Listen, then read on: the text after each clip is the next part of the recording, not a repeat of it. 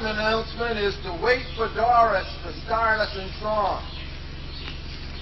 Doris will start us in all of the music. World with love and laughter. Never mind what anguish lies behind you. Forget, forgive, love, and laugh. Treat all as you would treat Christ with love and consideration. Let nothing that others do to you alter your treatment of them. Let us worship God in spirit and in truth.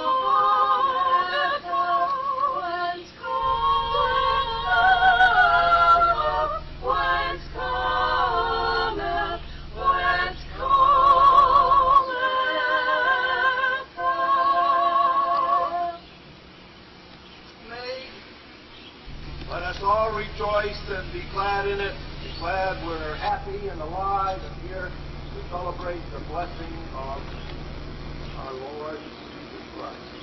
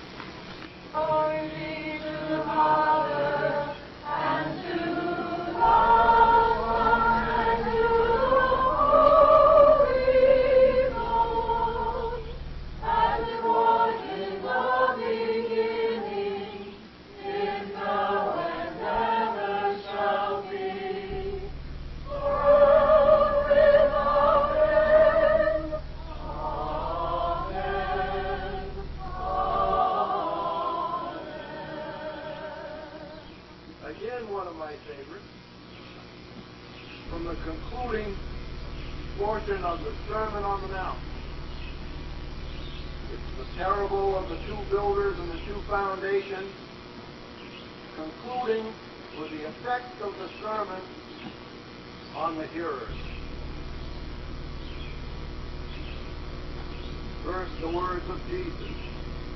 Therefore, anyone who hears these words of mine and puts them into practice is like a wise man who built his house on the rock. The rain came down, the streams rose, and the winds blew and beat against that house. Yet it did not fall, because it had its foundation on the rock. But everyone who hears these words of mine does not put them into practice is like a foolish man who built his house on sand. May God richly bless this reading from the Gospel.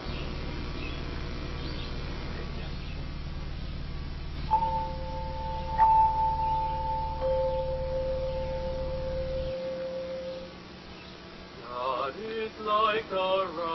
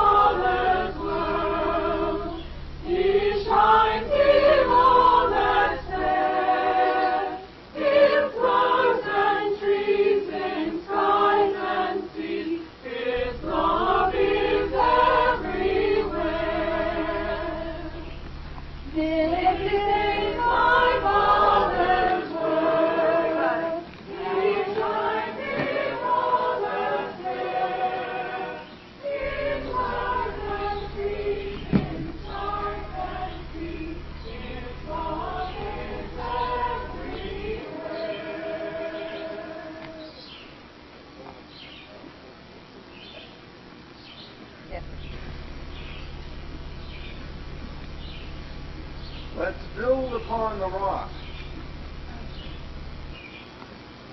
I hope you will enjoy and take this sermon to your spiritual nourishment as much as I enjoyed preparing it. The parable of two builders and two foundations comes after the Sermon on the Mount and Jesus' interpretive teachings about it. In chapters 5, 6, and 7 of Matthew's Gospel, Jesus explains and summarizes the principles of the kingdom, first to the crowd, and then mostly to his disciples. With the exception of the opening paragraph in chapter 5 and the ending paragraph in chapter 7, the words are those of our Lord Jesus Christ himself. Here, as in every single parable, what Jesus taught, he personified, he lives. Practice it, we are considered insane. Life can be built on two foundations, either on the rock or on sand. The difference is neither in the house nor on the material, as in the three little pigs. We can look pretty much alike on the outside, but when the testing floods come, have we built upon the rock? To what extent do we hear God's word, act upon it, and live by it? This is our challenge. Let's look at this parable and examine three important points. We are to build in the midst of life and not be swept by it. The test is faithfulness, not popularity. Visible is not the church invisible. The church's goal is to continually seek God's will and to love and serve. We are to function as a hospital for the soul. We are to build upon the rock. This is my first rock service, and I feel joyful that I haven't fallen off yet. so that's the first joy for the day. Neither has my podium or my Bible. I carefully put it over there. Anyone with any announcements other than what we have? Or marvelous community weekends that we have had. And please, don't make us wait another 200 years. But now they know how to do it. It should be every year, right? I would find it every six So months. we sat on the parsonage steps uh, uh, in the porch and we watched the fireworks. They were very impressive. I, other than the fact that I'm sure the neighbor's dog and our cat went under the chair in my son's room, I'm sure it was a joy. Thank you for the sound of the children. We know that there's still a debate as to whether you invented the mosquito or not. We pray for the Moyer family, the death of their daughter. Now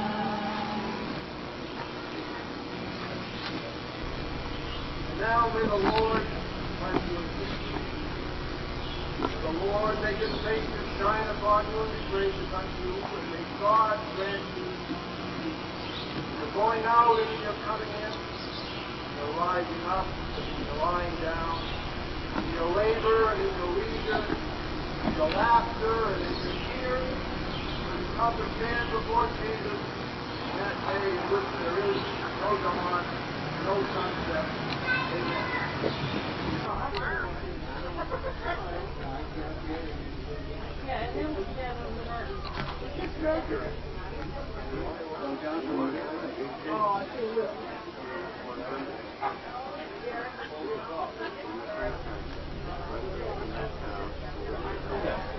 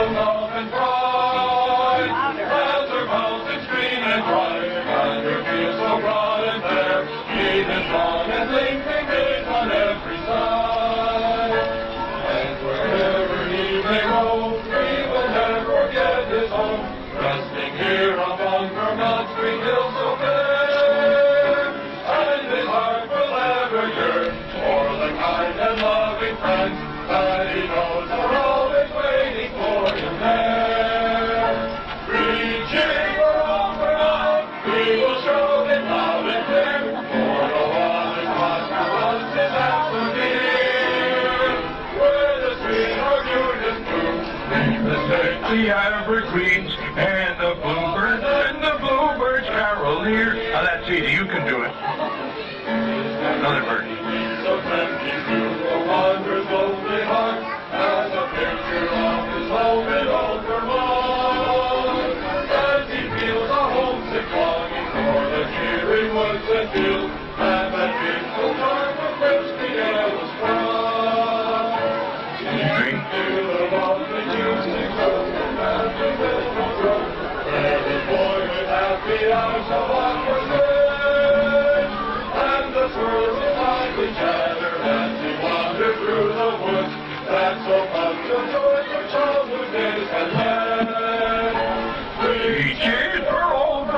Let's hear it. We will shout it loud and clear, for no other spot on earth is half so dear.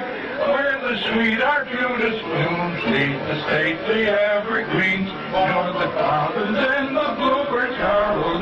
You can do better than that. Let's do that chorus again. Come on, come on, shout it loud and clear, for no other spot on earth is half so dear.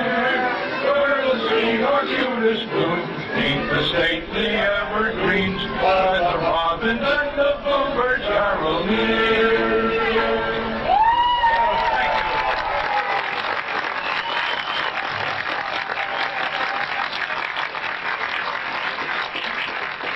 They will be going on tour eventually.